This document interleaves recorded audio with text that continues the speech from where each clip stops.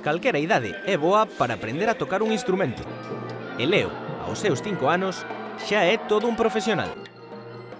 Como el máis de 100 nenos e nenas que compartirán a súa paixón pola música da man da Banda Filarmónica de Lugo. Nenos que lles guste a música, nenos moitos deles tocan instrumentos, algúns non, porque hai a parte instrumental que é a parte pola mañá e despois polas tardes temos a parte coral que se fai cun, cun coro. Clases, son todo clases grupais.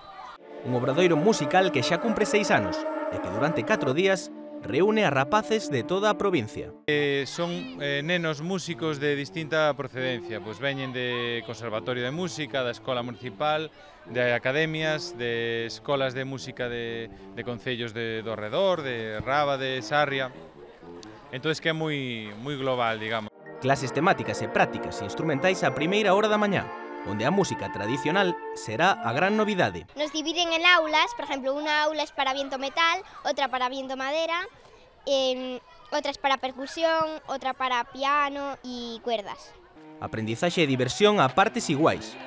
E antes do ensaio xeral, turno para os xogos compartimos la música, o sea, estamos tocando todos juntos al mismo tiempo, hacemos en seccional, luego jugamos, luego hacemos ensayo general, entonces nos divertimos mucho. Pues aprendemos a tocar mejor, eh, hacemos amigos nuevos y nos divertimos mucho. También aprendes un poco de historia, lo que pasó y te diviertes mucho aquí eh, jugando y tocando.